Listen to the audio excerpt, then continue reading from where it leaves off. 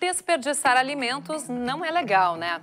Partindo dessa ideia, o programa Prato para Todos está na Expo Inter para ensinar receitas que aproveitam até aquelas partes de frutas e verduras que normalmente vão para o lixo na hora do preparo.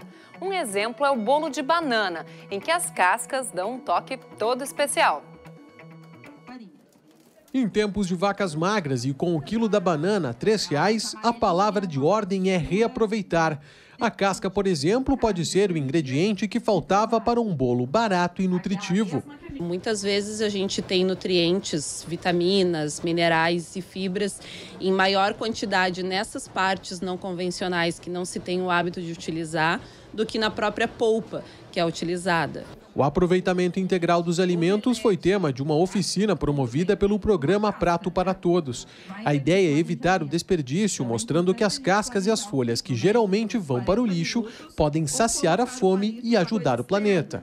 Vivemos num mundo só, né? E a fome está em todos os cantos. E nós aproveitarmos tudo que a terra dá, num mundo que está consagrado que 30% do que nós produzimos de alimentação vai fora, não tem cabimento. Né? É nessa linha que o programa Prato para Todos vem para ensinar né, as pessoas a cozinhar, a aproveitarem tudo que vai fora: folhas, tátulos, cascas. Braço direito do programa, o ônibus escola, onde são realizados os cursos, já treinou quase 1.500 pessoas.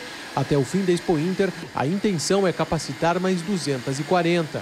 Com esse curso eu pude aprender Uh, pude, ela pôde demonstrar para nós o quanto de comida a gente joga fora e o quanto poderia ser reaproveitado.